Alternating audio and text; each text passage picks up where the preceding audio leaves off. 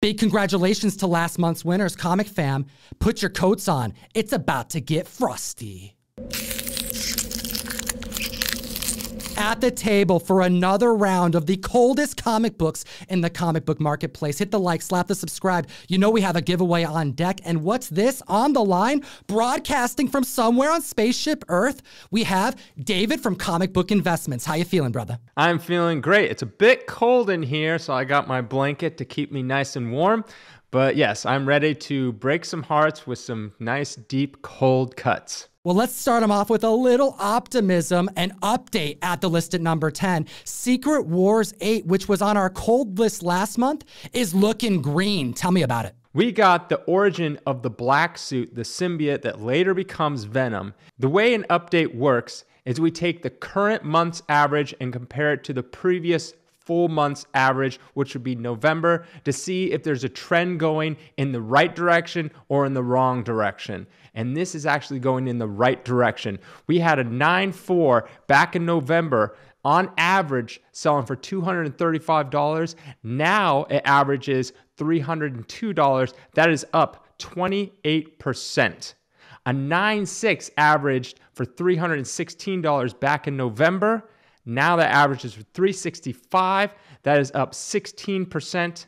And a 9.8 average 708 now currently averages 794. That is up 12%. Now, David, this is looking good for Symbiote Keys. Do you suspect this has to do with the recent Heritage auction sale of the original page from inside of this book selling for the most an original piece of comic art has sold for in comic history? I think honestly it has something to do with that a little bit. I think that just pushed this book up to a new level and it actually had a record sale this same month as well. All right, well, that's some good news, David, but let's turn up the AC with number nine, a cold book, X Men number 101, the introduction of the Phoenix. Back in May, going for 1250 down, 23% for an 8.5, now selling for $720. The 9.2, the June high was $1,560. That's down 23% this week, now selling for 1,199.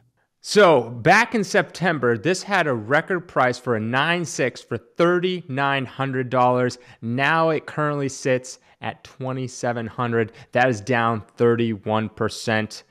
This book was a massive, massive key, guy shooting straight up with the boom, and now it's kind of coming back down. I honestly think that this book will still fall a little more. We had some interesting sales that took place last year, nine eights that were outlier sales. And I'm talking sales that exceeded $5,000 in expectation and then coming right back down. Whether there are investment groups purchasing these books, the sales happening on auction sites that don't retain their sales data for public consumption, it caused lower grade copies to have some volatility. Go easy on this one, but it's a major mutant key nonetheless. If you like what we do, utilize code TOM101 on the best comic app in existence, Key Collector Comics, available for both Androids and iOS. Keep up with your key comic books, suggested pricing, catalog your comic books, learn about the industry, and you get to support the show. Next at the list at number eight, we have Star Wars 42 to talk about the first appearance of The Mandalorian, Boba Fett, What's this doing on the list, David? All right, so we got a 9.0 peaking back in June for $735. Now that sells for $510. That is down 31%. We got a 9.4 selling back in June as well for $1,000. Now selling for 708 and that is down 29%. And the big one is a 9.6 sold in June as well for 1600.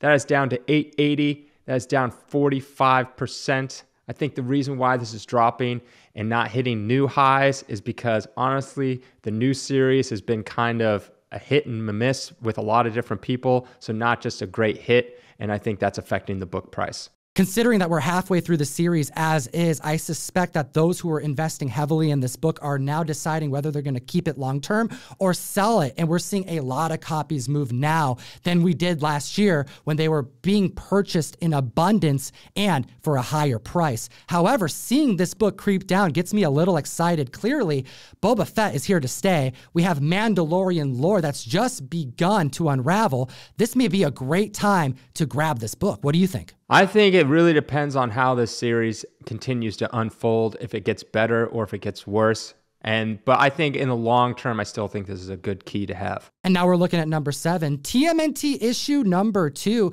the second appearance of the Turtles, the first appearance of April O'Neil, and more downward trends for single digit TMNT, except for that number one, which keeps outpricing itself. We have a 9.4 going for $1,484 back in April. That's down 46% this week, now selling for 800. The 9.6 going for 2,525 in March. That's down 49% this week, selling for 1,299. Do you think the crazy amount of interest in turtles as we entered into 2021 is causing the downward trend this year because of how much these comic books went up, the heights they reached? Yeah, I think they just went way too high. People got way too crazy with FOMO, and now it's coming back down. I think Turtles have a long history ahead of them, and I'm not worried, but I still think that these books will continue to drop outside of the first print number one and maybe second print number one. Those will still command a, quite a bit of money. The 9.8 back in June was hitting $5,517 for this book.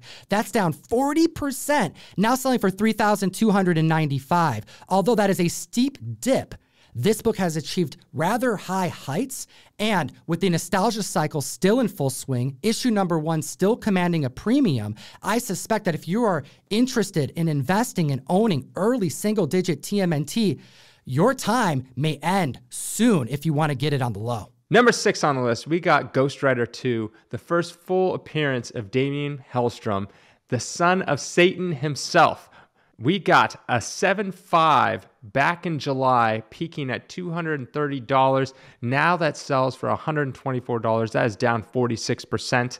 and 8 five back in June, sold for $304. Now that sells for $185. That is down 39%. The lack of integration from the Helstrom show on Hulu to the greater MCU at large, a decision Kevin Feige made, has clearly affected the value of this key comic, wouldn't you say? Yes, I didn't even watch the show. It didn't look that interesting to me. And to be honest, I thought this would be a show that'd be canceled just based off the previews alone. I just saw, and I didn't hear anyone really talking about it after it came out. I think that type of feedback, as well as the lack of integration, combined to causing this 9.0 back in August to go from $441 down 50%, now selling for 220. Next at the list at number five. Oh my goodness, G.I. Joe number one? What's going on?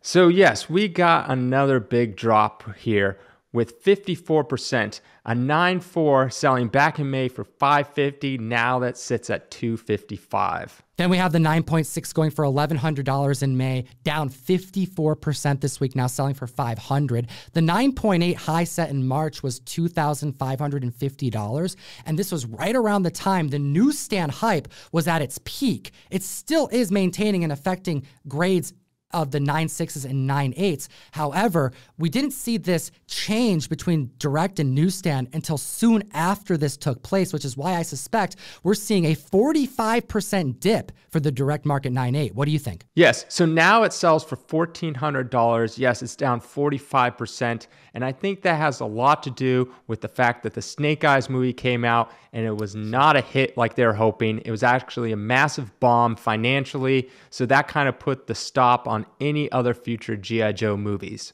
Speaking of adaptations that didn't quite land with the fans, we have DC Comics Presents 47 at the list at number four. The first appearance of He Man. What's this? A 9.4 going for $910 back in June of last year, down 48%, now selling for 472 Yes, and a 9.6 back in May, selling for $1,300, now sells for 593 That is down 54%. And a 9.8 recently in December sold for $3,500, but I think that was kind of an anomaly because now one just recently sold for 1,440. That is down 59% considering the hype was real with the Kevin Smith adaptation and not really landing with the fandom as much. Now, I didn't necessarily grow up with 80s toons. I was more of a 90s toons kind of person. I enjoyed the series, but I didn't really have much to compare it to. I'm not as affluent with He Man. What about you? I never watched He Man when I was growing up. I was more into the Turtles. So I didn't even watch the new one because I He Man's not my thing.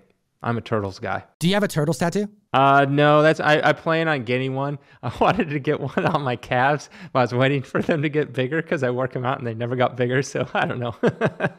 I love it, man. I got all four turtles and Shredder on my left arm. Next at the list, at number three, a modern comic book, Captain America issue number six. Yeah, so this is the first appearance of the Winter Soldier. Obviously, Bucky Barnes, which first appeared in Captain America Comics number one but this is the first appearance of him as the Winter Soldier. A 9.4 back in August sold for 288. Now that currently sells for $105. That is down 63%. A 9.6 back in April sold for 475. Now that sits at 189, down 60%. The 9.8 in March of last year went for $850. That's down 66% this year so far, with the low hitting 286 the show came out, and now that the show's ended, who knows what's going to happen to the Winter Soldier? Is he going to appear in other MCU movies? No one has any idea, and I think that is the reason why it just continues to drop because there's no plans for the Winter Soldier to continue on past this TV show or any future MCU movies. Falcon and Winter Soldier was the second series to drop via Marvel on Disney Plus. The hype was real, comic fam. The WandaVision lead in had some of the biggest spikes for some speculated books, and it carried over to amazing numbers that would be seen via Falcon and Winter Soldier's response. It was critically acclaimed. Thus, we are in a little bit of a lull, but keep in mind, a lot of these characters we are going to be seeing sooner than we expect because there's been so many delays over the last two years because of COVID. I have to tell the community to hit the like and subscribe here you're following us here, and I appreciate that, but you gotta go follow David's YouTube channel on comic book investments. And you have some auctions that you're doing on your website because you're a dealer full time and you're bringing the heat for the community. Yes. So we launched our very first auction on our website, collectorscomics.com. Go to it. It's live now. This Hulk 181 book right here, the 7.5, that is on the auction. It's time to get some good deals. We have three Hulk 181s, two giant size X Men ones. We got X Men ones, Fantastic Four number ones. We got tons of stuff. Our very first auction. Go follow me on my channel and remember to go to my website, collectorscomics.com. At the list at number two, we have Spider Man Unlimited number one, 90s goodness, the first appearance of Shriek, seeing dips, I suspect, post the release of Venom 2. So we got a nine 9.4 back in June selling for $150. Now that sells for $65. That's down 57%.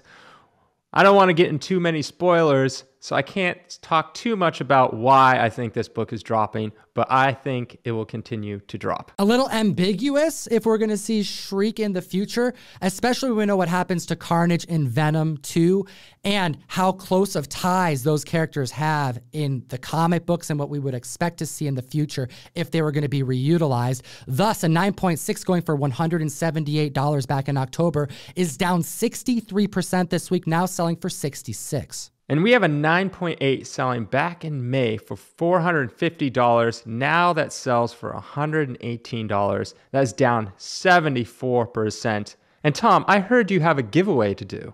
It's so cold, I can see my breath, David. And indeed, I do have a comic to give away. Someone is grilling the chicken number one. Only a 100 of these were made. And if you comment, like, and subscribe, let me know what you think about this cold list. We may make another one, and it'll you to win this giveaway.